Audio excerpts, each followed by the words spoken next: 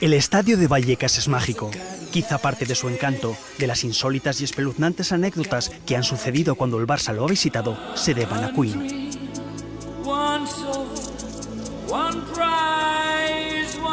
El grupo de Freddie Mercury dio el antepenúltimo concierto de su historia en este estadio presentando el disco A Kind of Magic.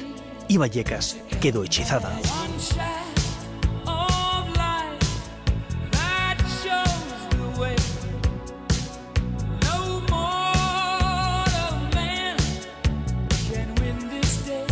El Barcelona ha sido el equipo que le ha endosado una mayor goleada al Rayo en casa, 0-7. Pero Puyol no quiso más humillación, a pesar de que a él, un día, Vallecas le bautizó con batido de vainilla. La grada de este estadio es impredecible, igual monta el pollo que lo lanza.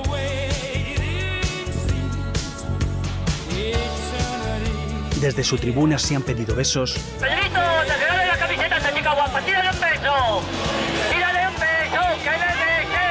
y contribuciones fiscales.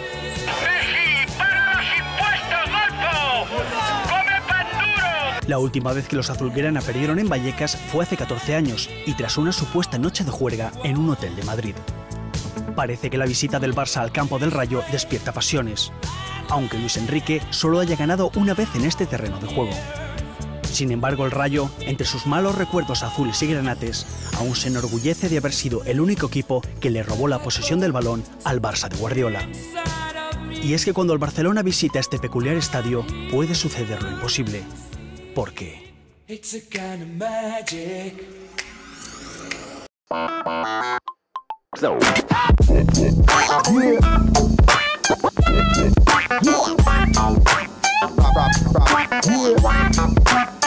Bang.